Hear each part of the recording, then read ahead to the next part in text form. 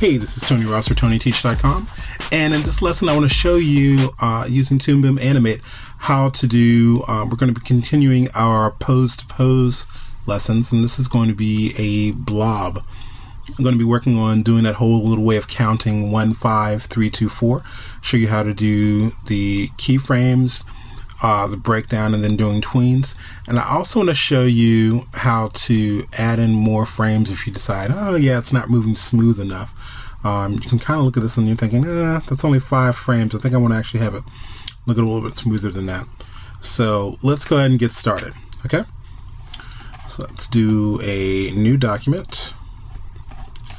And we'll call this blob 1. I'm going to go ahead and use my little 720 15 frames per second here. And we'll go ahead and save.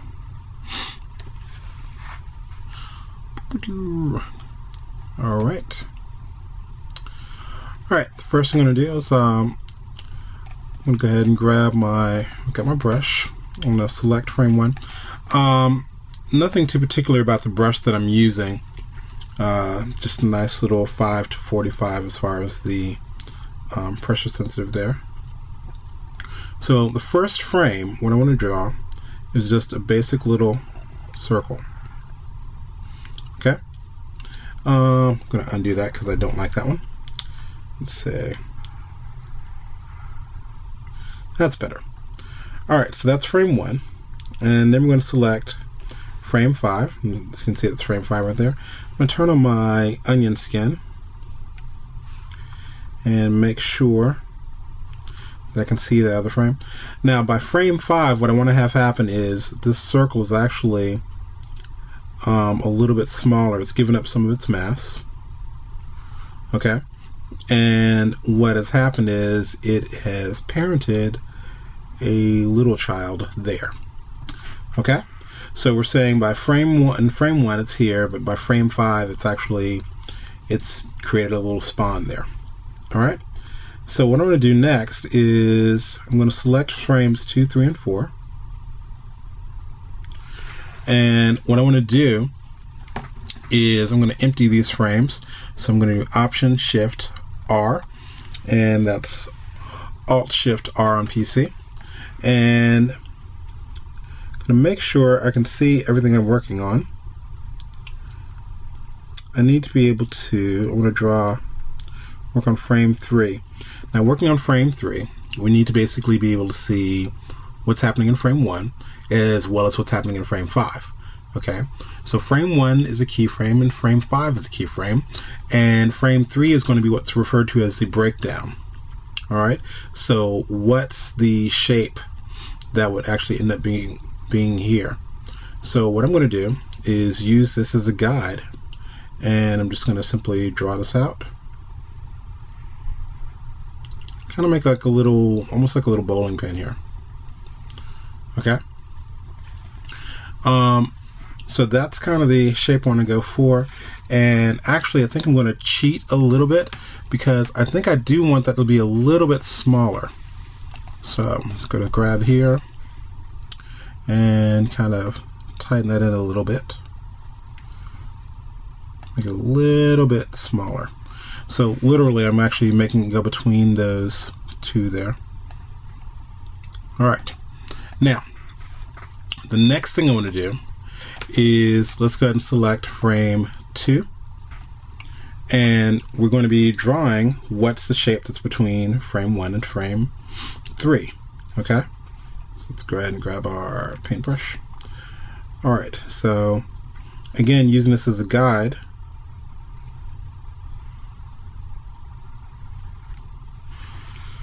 Alright. And I feel like I'm doing a lot of cheating here, but that's kind of a little thing I'm doing and you can get away with a little bit because you're working digitally. And let's see, I think I also want to shrink this again. Bring that in a little bit. Now what I'm doing, if you notice, I'm doing a little cheat here. I'm still on my brush tool, but I keep holding down my command key. That would be control on PC. Um, and so I can actually instantly have that my tool to work with there. And looks about right. Okay. Now, last but not least, we're going to go to frame four and we're going to draw what's between uh, frame three and frame five. Well, there's a lot of information here.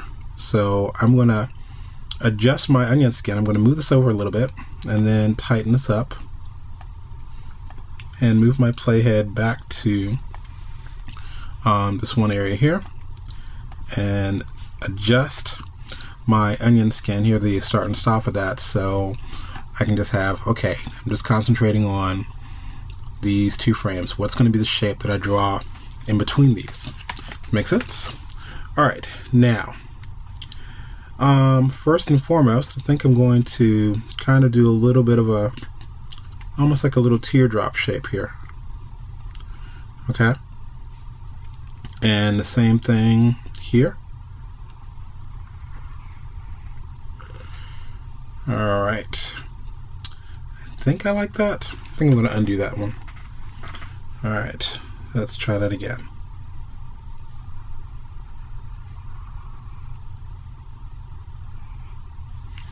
All right. So not terribly bad. Again I'm gonna do a little bit of a cheat here.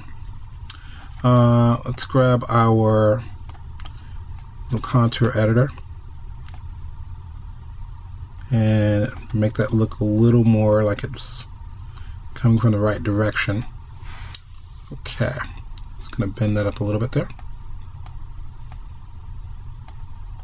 All right, pretty good. Now, I'm going to scrub this and see what it looks like.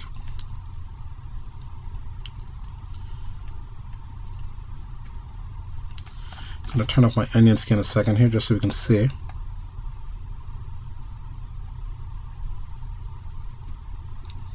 Not bad. Alright, what I want to do is go ahead and extend that last frame. Let's do 40 because we're going to do um, some interesting things as far as our timing. So I'll do F5 and I'll also shorten how long that's going to play. Alright. Now, uh, let's click on play. All right, not bad. Let's go ahead and make some adjustments here. First and foremost, um, I think what I want to do is let us see that first frame a little bit longer. Okay, so I'm going to highlight uh, all the other frames here. I'm just going to move this ahead, maybe at about frame 10. So now if we play this, Not bad.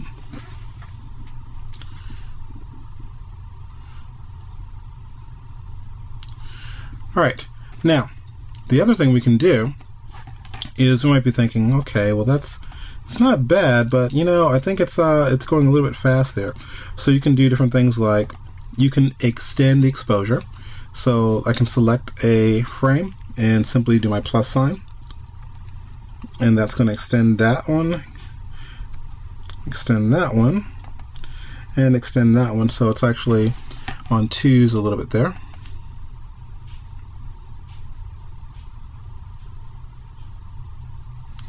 Alright, now for the fun part. Let's say, um, yeah, we did extend that, but we're not exactly happy. Maybe it's looking a little bit too stiff now.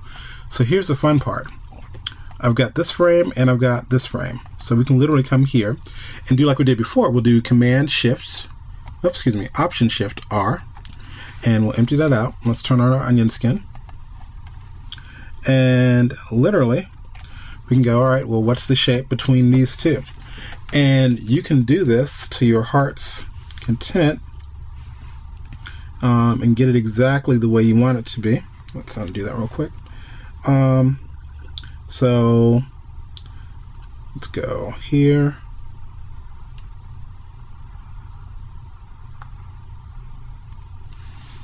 All right. So I'm going to use my little keyboard to use my less than and greater than signs.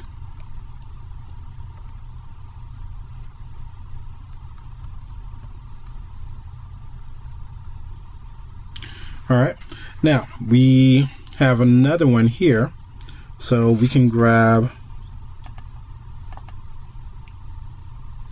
this particular frame and we'll do Option Shift R and we'll draw what's between these two.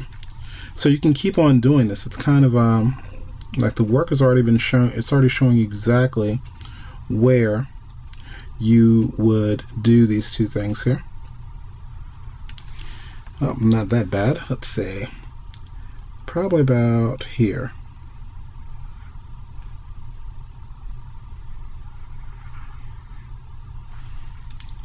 Okay. And that second one's a little weird there. So let's move that a little bit. And let's get our eraser tool. Let's turn off our onion skin. And let's see if I did that right.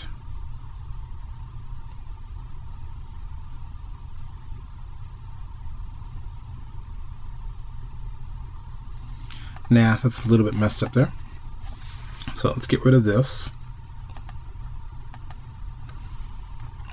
And let's turn our onion skin back on. Okay, so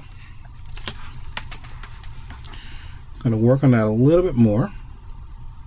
So these would almost be touching, I guess.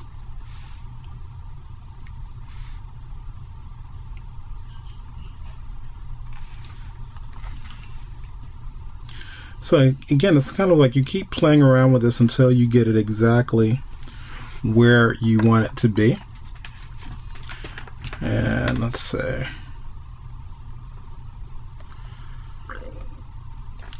all right, we're having a ball with this one right here.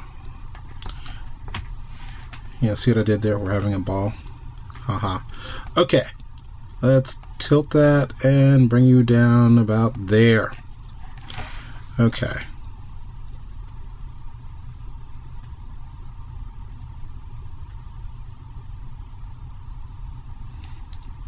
Okay. Now, here's the other part of this. What we can do with this little snap here, let's go in and um, add in some lines.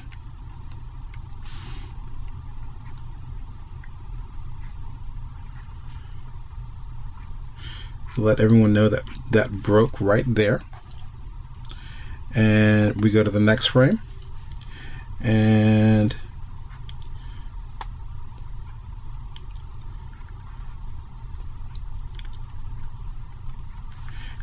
this is the fun part. It's called animation. And we're going to go here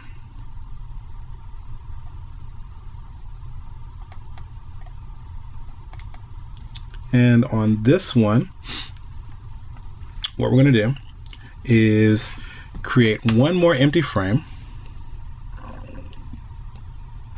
So do Option Shift R and we'll draw in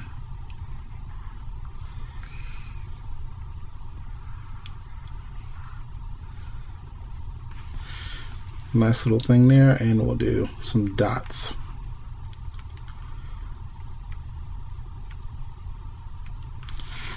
And then those should disappear. And I know what you're thinking. Let's see how ugly this is going to look. Not too bad. Alright now the cool thing is as ugly as those drawings were we're going to be seeing them for a fraction of a second and let's go ahead and hit play.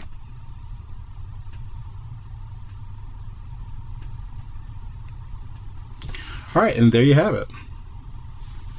Okay, so you can kind of really start playing around with um, the whole little thing of uh, how many frames you want to actually do, how smooth you want to make it, or how, how sharp you want to make something. Um, and actually, one last thing I do want to do one last little trick here.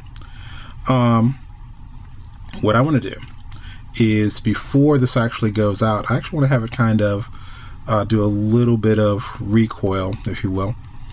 Um, I'm going to empty this frame. Let's do uh, Option Shift R. And what I want to do is have this ball go backwards, like it's kind of doing a squash before it stretches out. Okay? So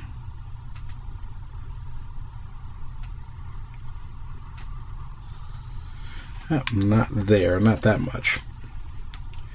But basically, it's going to get a little bit smaller. Almost like a little Pac Man there. See if I can go in and stretch this out a little bit.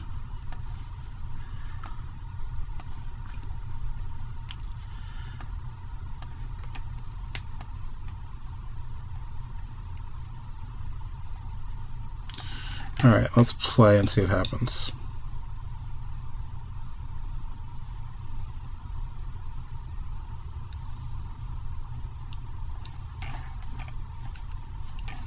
Alright, we'll stop that and we'll bring this back one frame and let that extend, that extend a little bit more. Alright, so it's like it's pulling back a little bit and quite frankly, I probably could actually do that a little bit better. Um, but that's the beauty of this. You can keep going back and tweaking things. Um, and I would definitely suggest you want to sketch out or either work in black and white or even working in um, blue first and make sure your animation looks good before you start going in and trying to add color and everything like that. But basically doing this whole little pose to pose. You actually set up your keyframes, do where your breakdown is, and then you can start working on what your tweens are. Okay, so I hope this has been helpful, and uh, try this out. If you do anything with it, uh, definitely go ahead and respond to this and uh, send us a link. We'd love to see what you're working on. So this has been Tony Ross for TonyTeach.com. Remember, keep it simple, make it perfect. If you don't have time to make it perfect, rethink the idea.